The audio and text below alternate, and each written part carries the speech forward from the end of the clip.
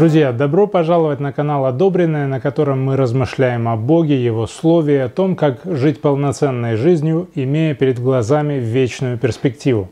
Насколько важно, с какой ноги вы встаете.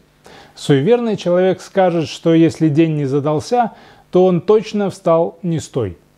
Чем это не суеверие, когда верующие люди спорят о том, в какую сторону правильно креститься, или, как это принято называть, осенять себя крестным знамением. Многим известно, что в православной и католической религиозных традициях при определенных обстоятельствах принято перемещать руку вверх-вниз, вправо-влево, рисуя перед собой, так сказать, образно говоря, крест. И не приведи Господь кому-нибудь в православной традиции сделать это так, как делают католики, то есть в другую сторону и пятью пальцами или, или целой ладонью. Есть люди, которые верят в Бога где-то глубоко внутри, посещают, может быть, по праздникам э, храмы и считают, что перекрещение является обязательной частью посещения храма. Делают как все. Но есть также и глубоко верующие люди, которые следуют этому обычаю сознательно и стараются делать это правильно, чтобы не согрешить, как те, кто делает это неправильно. Но дело в том, что в Библии нет ни слова о том, что люди должны осенять себя крестным знамением. Кто-то может возразить, сказав, что, мол, не все же должно быть написано в Библии, что если то или иное предание установлено официальной церковью, то лучше его исполнять. При этом защитники этой традиции, кроме прочего, ссылаются на труды раннехристианского писателя, теолога и апологета Тертулиана – жившего в третьем веке и еще тогда писавшего о том, что есть, мол, такая традиция – осенять свое чело крестным знамением. Сразу скажу, что я убежден, что читать и изучать труды Тертулиана и прочих святых полезно. Это зачастую помогает понять, как первые христиане трактовали те или иные места из Писания – какое представление они имели о невидимом духовном мире и так далее. Но это не значит, что они во всем правы. И в данном конкретном произведении, где об этом написано, Тертулиан пытается защитить следование преданиям церкви, одним из которых было осенение себя крестным знамением. Тертулиан утверждает, что если даже в Писании об этом не написано, но обычай кем-то принят и большинство ему следует, то лучше его исполнять, веря в то, что это правильно. Но если бы это было так, то все предания были бы одинаковыми во всем мире. А поскольку даже в отношении предания крестного знамения у разных конфессий существуют разногласия о том, в какую сторону правильно креститься, сколькими пальцами это делать, а также о том, какой символизм заложен во всем этом – это говорит лишь о том, что предания эти не от Бога, а от человека. И для Бога все равно, э, так или иначе вы это делаете или не делаете вообще. Но учитывая абсурдность некоторых преданий, нужно задаться вопросом о том, стоит ли им следовать в принципе. Ведь предания, они не приближают нас к Богу и не показывают нашей лояльности к Богу, равно как и не отдаляют нас от Бога. А если вы ходите в храм только по праздникам и не изучаете Библию, то куда еще дальше можно отдалиться? Если вы делаете это, не имея близких отношений с Богом, а будучи ведомыми только желанием делать так, как все, то демонстрируя на публику эту внешнюю атрибутику, вы только оскорбляете Бога. Я искренне верю, что христиане первых веков – которые придумали этот обычай, хотели только хорошего. Они, скорее всего, хотели таким образом мысленно перенестись на Голгофу, ключевому событию доброй вести, Евангелия, распятию Иисуса Христа. Да и сами сторонники данной традиции призывают своих прихожан не делать это чисто технически, а придавать каждому движению особый смысл, размышляя о том, что делаешь поднося, например, пальцы к лбу, думать о том, что Бог просвещает наш ум, просвещает наши мысли, поднося руку к животу, думать о том, что Бог укращает нашу плоть, наши плотские желания, поднося к правому э, плечу о том, что есть спасение или переход в рай, и, наконец, поднося к левому плечу, думать о том, что существует переход в ад, и и есть погибель, и о том, что Бог помогает нам ее избегнуть. Ну, во-первых, зачем размышлять о Евангелии только в моменты, когда нужно перекреститься? Или наоборот, зачем, размышляя обо всем этом, креститься? Размышлять о том, что Бог просвещает наш ум, укращает нашу плоть, спасает одних и наказывает других, можно и нужно в любой момент нашей жизни. И желательно читая то или другое место из Писания, которое об этом говорит. Не знаю, как вы, а я одновременно и размышлять, и размахивать руками не могу. Меня это отвлекает. Как ни старайся, а размышлять о том, что доводишь в итоге до автоматизма, не получится. Или забудешь подумать, или подумаешь лишь вскользь, поверхностно. Во-вторых, этот обычай не имеет ничего общего с настоящей верой в Иисуса Христа. Вера должна быть живая.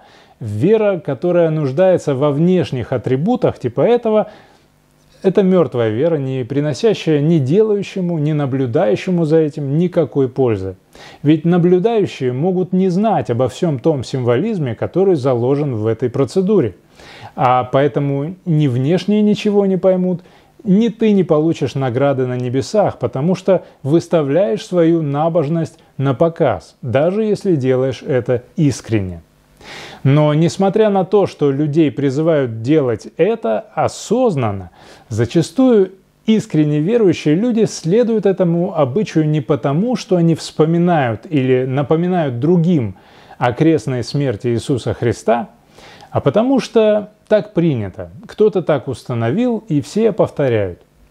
Иначе бы не было споров о том, в какую сторону и сколькими пальцами правильно делать крестное знамение, и о том, какой символизм скрывается за каждым из этих движений и положением пальца в руки. Ведь и пальцы нужно якобы складывать определенным образом. И не просто так, а потому что это должно тоже что-то символизировать. Православная традиция, например, призывает прижимать два пальца к ладони, э, тем самым подчеркивая, что Христос имеет две природы – божественную и человеческую. Затем э, три пальца соединяются в одну точку, символизируя то, что Бог один. При этом православные критикуют западные традиции, согласно которым крестятся пятью пальцами, которые, в отличие от православной традиции, символизируют пять чувств человека или пять ран Христа – какой кошмар, какое дичайшее различие в подходах. Однако ни те, ни другие не имеют права критиковать друг друга за то, что придумано человеком, ни тем более тех христиан, которые не делают этого вообще. И та и другая традиция – это изобретение плоти. И на это указывают всяческие правила, определяющие то, как, когда, где и насколько часто креститься и кланяться а также различия в этих преданиях. Э, притом сами правила чаще всего абсурдны и кажутся над откровенной насмешкой над Богом и телом Христовым, Церковью Иисуса Христа. Одним из таких правил, к примеру, есть то, что человека призывают креститься, когда он видит церковь, проходя мимо нее на улице или проезжая мимо нее в общественном транспорте – Однако это абсурдно, потому что мимо настоящей Церкви Христовой нельзя пройти или проехать. Она внутри каждого верующего и невидима для всех окружающих. Каждого из членов этой церкви знает только Иисус Христос, пребывая в каждом из них Святым Духом. А сам Бог, как известно, не обитает в рукотворных храмах. Сегодня храмом Бога является сам верующий. Да и с крещением это предание не имеет ничего общего, ведь крещение – это то, что происходит на духовном уровне, когда человек принимает Иисуса Христа своим Спасителем, осознавая свою греховность и каясь в своих грехах. И это крещение происходит лишь раз в жизни в сознательном возрасте. Кроме того, защитники крестного знамения говорят, что оно якобы помогает человеку очиститься и вернуться в Царство Божье. Но человека ведь очищает не внешнее действие, не рукотворное знамение. Так же, как и евреев делало Божьим народом не внешнее обрезание, которое, хотя, замечу, нужно было делать согласно Писанию. Человека очищает вера и внутреннее обрезание сердца. Да, То, что у человека внутри, конечно же, должно быть заметно снаружи. Но то, что снаружи, это никак не внешняя атрибутика или соблюдение преданий. Это плоды веры, света Иисуса Христа, реки живой воды, струящиеся из чрева верующих. Доброта, забота, любовь, терпение и так далее. И христианину не нужно налагать на себя крестное знамение, чтобы вернуться в конце концов или попасть в Божье Царство. Если человек принимает Иисуса своим Спасителем, человек на духовном уровне сразу же перемещается в Божье Царство. Это Царство существует уже сегодня и независимо от того, есть в нем отдельный человек или нет. И если человек пребывает в Иисусе Христе, получив Святого Духа, то ему не нужно постоянно возвращаться в Божье Царство. Он уже в нем. Справедливости ради нужно отметить, что не только в православии и католицизме, но и в протестантизме и других деноминациях встречаются нелепые внешние традиции, обычаи и правила, э, которые не имеют ничего общего с верой в Бога и следованием за Иисусом Христом. Именно поэтому для человека полезно верить вне привязки к деноминациям, э, но тем не менее пребывая в общении с другими верующими. Например, собираясь э, с верующими домашними группами, изучая вместе Писание, прославляя Бога и заботясь о нуждах друг друга. Как это делали первые христианские общины в первых веках.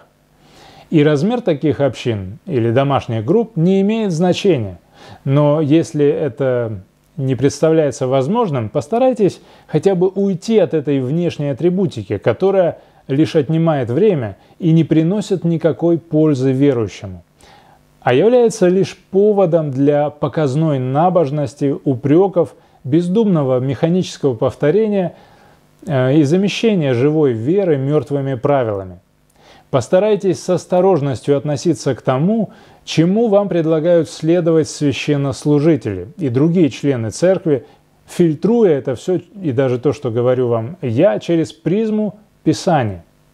Как писал апостол Иоанн, не всякому духу верьте, испытывайте духов, от Бога ли они. Это сравни правильному питанию. Можно есть и пить все без разбора, что предлагается сегодня потребителю в супермаркете, а можно стараться покупать только свежие, не генно-модифицированные продукты. И готовить их как можно проще, не смешивая то, э, что не переваривается и гниет у вас в желудке. Также и в церкви. Если вы находитесь в собрании верующих, где вас заставляют или предлагают следовать преданиям, которые не находят своего подтверждения в Библии или противоречат простоте веры в Бога, о которой говорит Библия, Отбросьте их, освободитесь от этой ненужной шелухи и сосредоточьтесь на чистом Слове Бога, без синтетических добавок. Вы не согрешите, если не будете осенять себя или если будете осенять себя крестным знамением. Но важно то, что предание не имеет никакой духовной силы. Это неправда, что с помощью перекрещивания святые совершали или могут совершать чудеса или освещать воду. Перекрещивание какого-либо предмета не делает его безопасным для того, кто совершает это действие или для того, для кого это действие совершается. С помощью этого движения никто не в состоянии противостоять демонам и злым духам, одолевающим человека. Это может лишь твердая вера в Иисуса Христа, которая является нашим щитом, которая угошает стрелы лукавого и которая подкрепляется изучением Библии, являющейся нашим духовным мечом, а также постом и молитвой. На этом все. В описании к этому видео вы, как обычно, найдете ссылки на ключевые места из Писания, над которыми мы сегодня размышляли. Если вам было интересно и вы хотите узнать больше, подписывайтесь на мои каналы на платформах YouTube и Instagram, чтобы поддержать распространение Божьего Слова.